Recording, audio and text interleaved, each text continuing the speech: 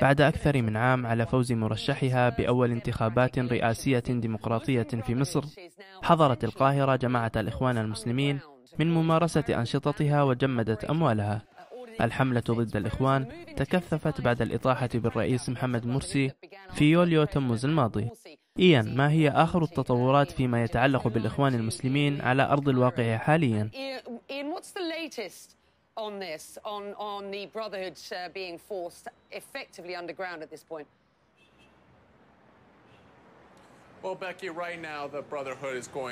الإخوان المسلمون سيستأنفون هذا الحكم وخلال هذا الاستئناف سيتمكنون من ممارسة نشاطاتهم بشكل طبيعي حتى صدور حكم آخر وقد خرجت الجماعة بقوة ضد هذا الحكم لشجبه وصفة إياه بغير القانوني مضيفة أنها مؤامرة سياسية ودوافعها موجهة ضد الإخوان المسلمين وقالت أن هذا لن يمنع أنصارها من الخروج إلى الشوارع رغم أن القرار يحل المنظمة وقد يتم مصادرة جميع ممتلكاتها كذلك وهذه ضربة كبيرة أخرى للإخوان